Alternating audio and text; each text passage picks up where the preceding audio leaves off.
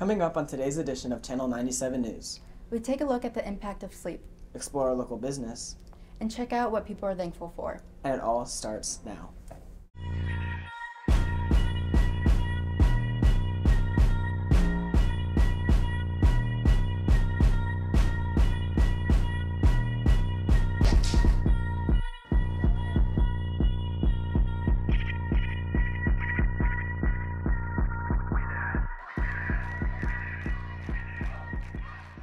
Welcome to the November edition of Channel 97 News for the 24 25 school year.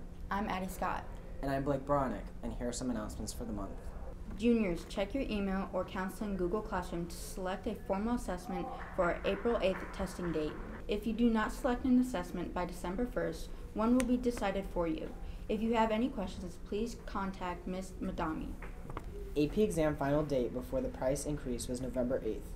Any AP exam purchased now, March 7th, will be $140. Have any questions, see Ms. Badami. It's beginning to look a lot like Christmas, especially for the children of the Annie Malone Crisis Center. The Black Student Union is hosting a toy and gift drive. All donations can be dropped off in room 325. Thanks for your support. NHS will be selling candygrams during all lunches on Tuesday, December 3rd through Friday, December 6th. Send a candy cane and a note to anybody in the building only for a dollar. Additional bundles are available for $2 and $4. Candygrams will be distributed during A&P on December 17th. The library will be closed for testing December 6th through December 12th. Loaner laptops and student printer will still be available. The A&P Testing Center will be in room 233A on Monday, December 9th. Boys golf meetings start up in January and February. Any questions, contact Coach Gertis. In our first story, we take a look at the background of a big community at Oakville. Dino and Adam introduce us to some families from Bosnia. Many people may know that there is a lot of Bosnian culture and history throughout St. Louis, but why is that? Mrs. Sakota and a few students teach us more about Bosnia. So the war, when we left um, Bosnia, it was 1992, um, which is about when it began, when it all began. Um, and at that time, only my mom and I were allowed to leave. My dad had to stay um, because there was like a rule: any any man over 18 had to stay. Um, and then um, so we just had like my parents had to just pick up and leave. My grandparents ended up staying though because it was more convenient for them to stay instead of like picking up and leaving at that part in their life. But my parents were young enough where they could move over to Germany. Um, it took a long time for my parents. It took about like 20 years. It wasn't like right away. It was a perfect life. They had to live at my grandma's house for years and years. And eventually, when they got both good jobs, they had me and my sister, and then we just got a successful life.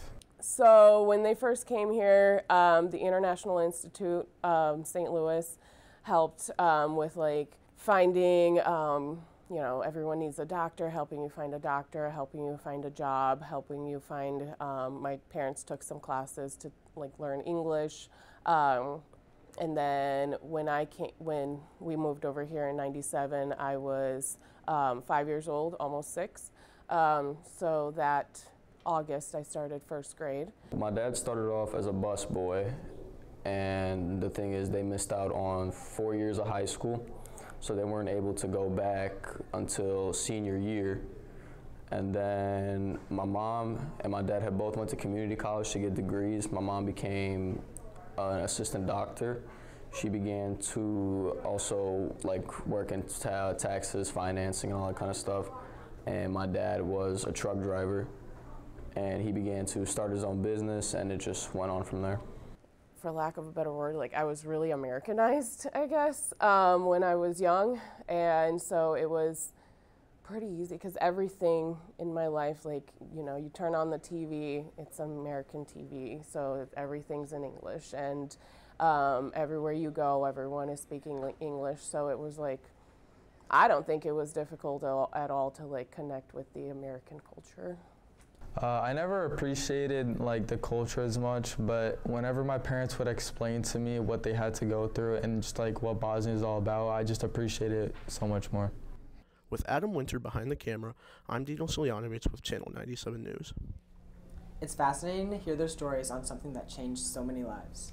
Something else that has a major impact on humans is sleep. Avery and Parker have the story.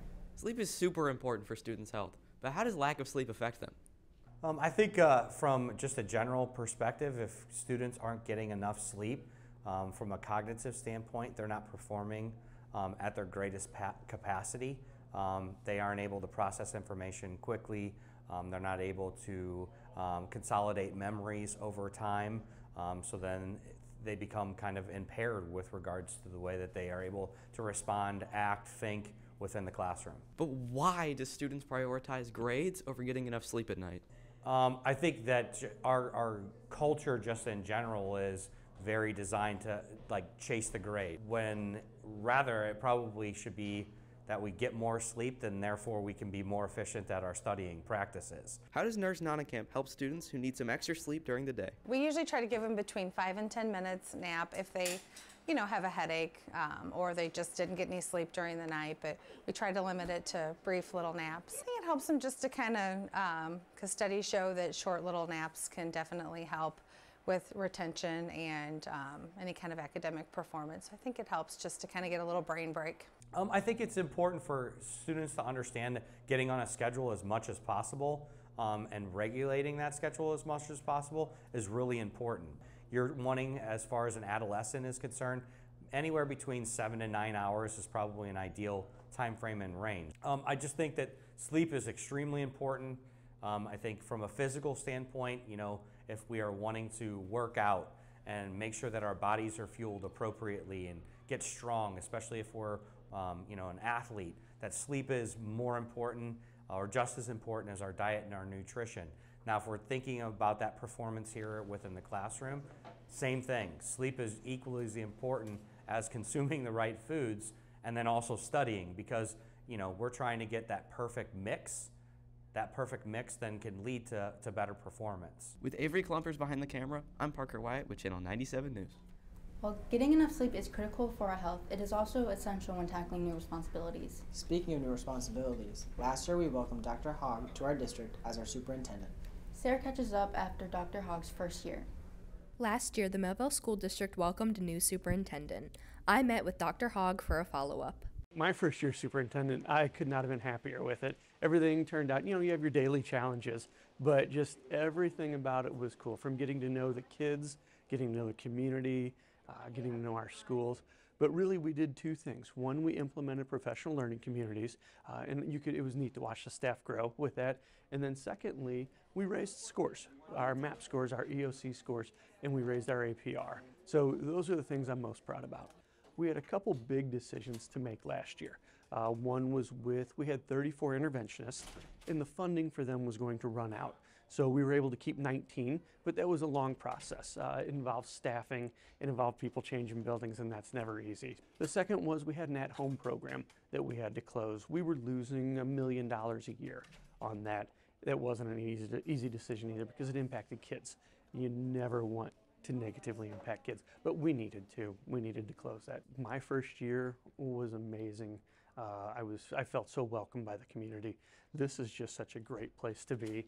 Uh, you know, we have 10,000 kids. That's 19 buildings. That's a lot, but you get a sense of belonging in each one, a sense of feeling. And the more you can connect kids to school and their buildings, the better. Dr. Hogg is the right superintendent for where we are right now in our district. And I think our community really wanted a visible leader, and Dr. Hogg has been at so many events. He's been a constant presence, and I think our school community has really appreciated that. So keeping that positive momentum going and trying to make the student experiences as best as possible is our goal, and I hope we're able to keep that good momentum going. I can't wait to see what Dr. Hogg does next. For Channel 97 News, I'm Sarah Brand. It's great to see how the year went since Dr. Hogg stepped up to fill such an important role. Some of the students from the National Spanish Honor Society have also stepped up to help run the Spanish Club. Adam and Dom have the story. This year, Spanish National Honor Society students are volunteering to lead Spanish Club. This has sparked a positive change in the Oakville Spanish community. Um, for Spanish Club this year, students in National Spanish Honor Society are um, volunteering their time to kind of set up a mini lesson to teach the kids in Spanish Club. Um, so my students, National Spanish Honor Society, will choose a topic and um, kind of make a mini lesson so that they can teach the students of Spanish Club because Spanish Club is more um, open to everyone, whereas National Spanish Honor Society is a specific um, GPA, their participation in Spanish class, all that sort of thing. So far, I think it's worked really well. We've only had, um, I guess, one meeting where a National Spanish Honor Society group um, led the Spanish Club meeting, um, and I think it went really well. Um, I think it's really um, eye opening to see Spanish Honor Society working with Spanish Club because Spanish Honor Society, there are requirements to get in. So I think um, underclassmen going into Spanish Club if they're in a Spanish class, seeing that they could get into that um, makes them want to go into more Spanish classes even more.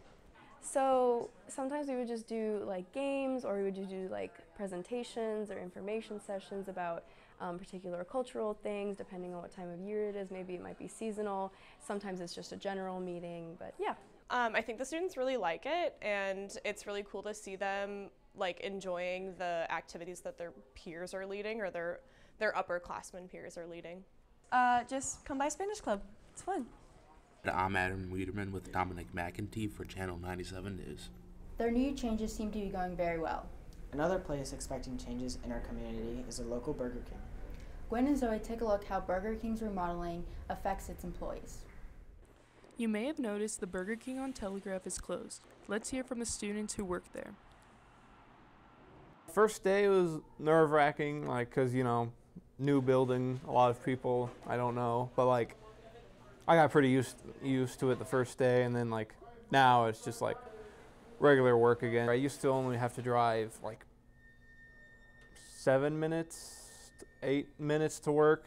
Now I have to like now it's a 14 minute drive. I feel like the way just our store did things was a lot different. We have to learn how they're doing things. They only have one window at their store, so we have a cashing out window and like a food window, and they have only one. Everything's like in different places there, so you gotta learn where everything is pretty much. Um, I just can't wait till our store is built back up. There's front line and back line. Front line is like taking the orders, drive through, and then backline is making the food, and me and him are both up in front line. And there's expediting, which is putting stuff in the bags. And Yeah. Some people, I guess, quit, um, or they are on like a leave, and like they're just waiting until the new store is done being built. it's definitely a different environment. There's a lot more, Yeah. lot more people there. Yeah, it's a lot busier at that store too. I think it's just like a more popular area. I mean, just be on the lookout for the new Burger King on Telegraph. It's gonna be great. Revamp. With Zoe Simmerall behind the camera, I'm Gwen Johnson for Channel 97 News. If you're looking for a new food place to try while Burger King is closed, Cafe Fleur de Lis may be the perfect place. Abby, Ethan, and Brendan give us a review on the food from the cafe. I'm Brendan. I'm Ethan. And I'm Abby. And today on Channel 97 News, we will be testing food from Cafe Fleur de Lis. I have a waffle and a blueberry muffin. I have an egg and cheese crepe. And I have an apple butter cinnamon crepe. First, we're going to be trying the apple cinnamon crepe.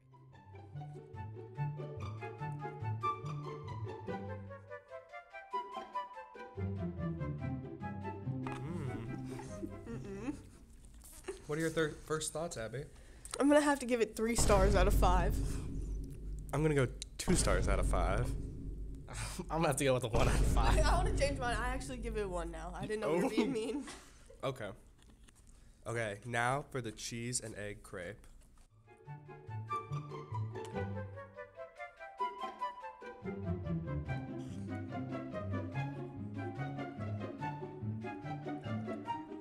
I give that one a three. I'm gonna go with four. I'll give it a three. Okay, 3.5 average. I say that's pretty good. Next, we'll be trying the waffles.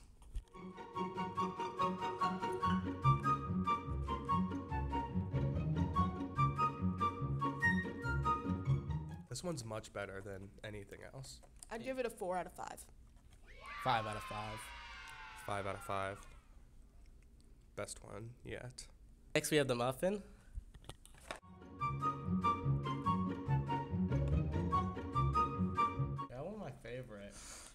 What's your favorite? Uh huh. That's a five out of five. Andy, what do you think about it? That's gonna have to be a four. The blueberries taste is too strong. I agree with Abby. Four out of five. Too strong on the blueberries. Okay. I have the chocolate. My okay. Cons- Where's the camera What do you rate it out of ten? It's cold. Yes, it's been sitting out for a long. While the cafe offers a variety of delightful food, it's a reminder how food can bring people together. As we approach the season of giving thanks, many are reflecting on what truly matters most. Here's Tiger Walking with Will and Emma. My name is William, And I'm Emma. and this is Tiger Walking. That's good. There's people coming. What are you thankful for? Uh, my family. Your family? Yeah. Let's go on. Um, I'm thankful for uh, Fortnite. Fortnite? That's a great one. That's a great one. What are you thankful for, my man? This guy right here. This guy right here? Mm-hmm. Uh, okay, let's, let's see what he has to say. Let's see what he has to say. What are you thankful for, my man? I'm thankful for my beautiful mustache and beard. There you go. He does have a beautiful beard. Mmm. Mmm, some, cr- some creative people at this lunch. What are you thankful for? My family. I'm thankful for my friends and family. Okay. What are you thankful for? Uh, I'm thankful for the orange chicken at lunch.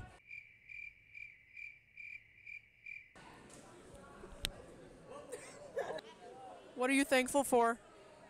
Um, food. The school bus home. Okay.